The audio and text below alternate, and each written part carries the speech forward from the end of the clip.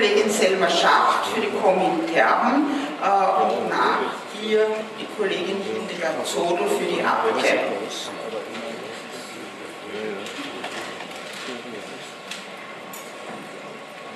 liebe Kolleginnen, liebe Kollegen, auch von meiner Seite Gratulation. Gratulation an jene, die heute gewählt wurden, Gratulation an jene, die äh, direkt bei der Arbeiterkammerwahl in dieser Vollversammlung gewählt wurden. Äh, Gratulation an uns, äh, dass wir wieder eine hoffentlich äh, tatkräftige Vollversammlung der Arbeiterkammer Wien äh, vereinen werden. Ausgenommen wie immer natürlich in meiner Gratulation all jene, die als Wölfe im Schafspelz hier sitzen.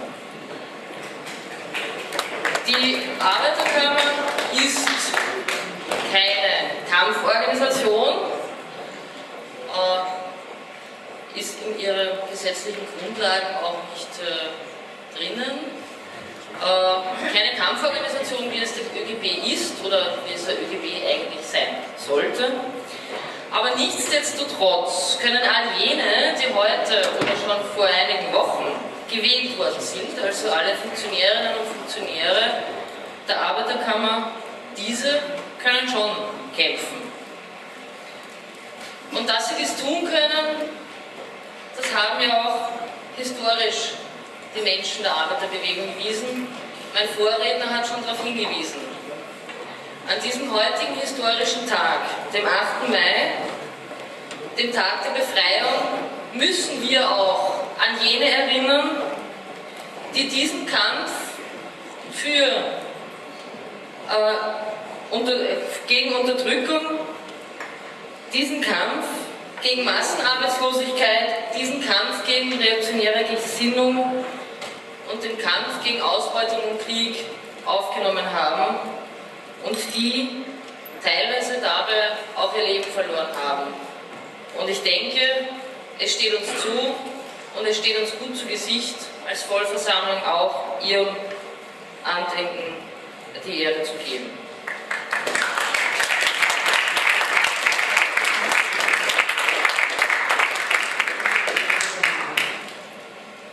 nicht nur um diese Uhrzeit, sondern heute Abend gibt es ja auch diverseste Möglichkeiten, dieses auch nochmal in die aktivere Tat umzusetzen. Aber erinnern, erinnern heißt auch kämpfen. Auch heute äh, heißt es, gegen Massenarbeitslosigkeit anzukämpfen. Auch heute heißt es, gegen reaktionäre und faschistische Gesinnung anzukämpfen.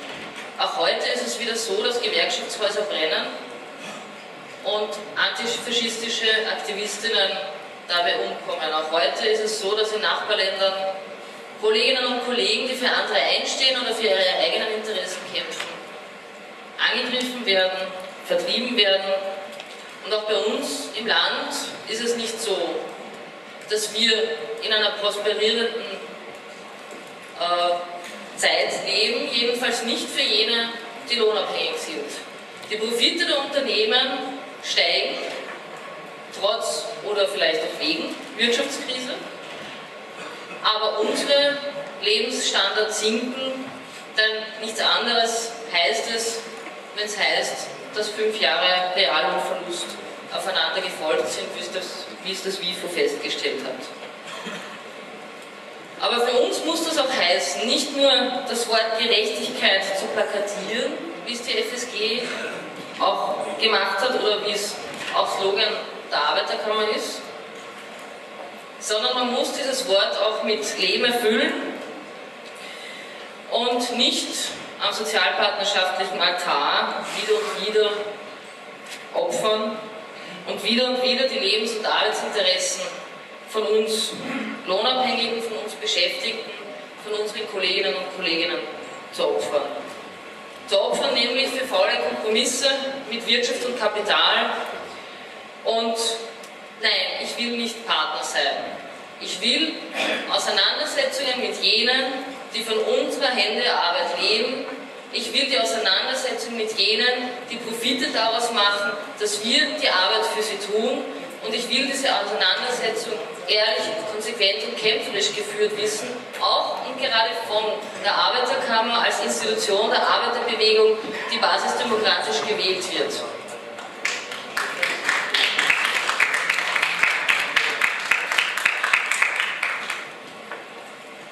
Wir werden heute ja noch einige Themen, nicht viele, aber doch wahrscheinlich diese heftig diskutieren. Und deswegen enthalte ich mich fürs erste Mal äh, den konkreteren Themen. Aber eins muss uns schon klar sein. Nur zu postulieren, dass Österreich und der angebliche allgemeine Standort Österreich eh so gut dastehe und zu postulieren, dass wir es gut über die Krise, die noch lange nicht vorbei ist, geschafft haben, das kann nicht reichen. Wir müssen auch die Augen öffnen gegenüber jenen, die auch heute in unserem Land schon unter der Armutsgrenze leben, unter die Armutsgefährdungsgrenze gerutscht sind. Und das sind teilweise auch jene Kolleginnen und Kollegen, mit denen wir Schulter an Schulter im Betrieb arbeiten. Die Augen müssen wir öffnen und wir müssen gemeinsam tatkräftig eben auch kämpfen und nicht nur zuschauen und nicht nur schriftlich agieren. Dankeschön.